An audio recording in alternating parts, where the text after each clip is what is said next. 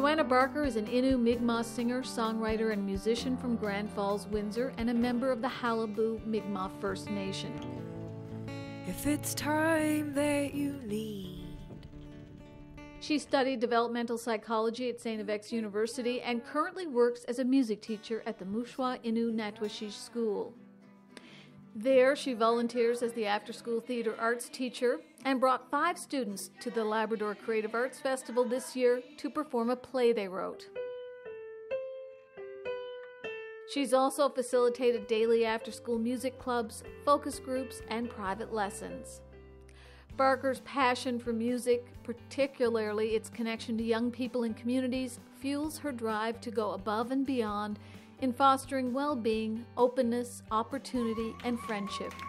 She's developed and facilitated camps for youth with the National Arts Center Music Alive program and is programming director at Girls Rock NL and co director of St. John's Women in Music.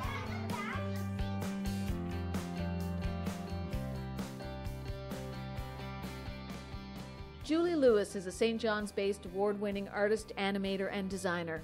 She studied at Memorial University's Grenfell campus, Sheridan College, Algonquin College, and Dalhousie University. She devotes most of her time to drawing, teaching, and studying art. As the owner of Sassy Tuna Studio, Lewis brings her enthusiasm and energy to teaching traditional and digital art to youth across the province, providing a customized approach for budding artists to build their creativity. Her emphasis on student centered art enrichment helps young people prepare their portfolios for illustration and animation and explore the creative powers.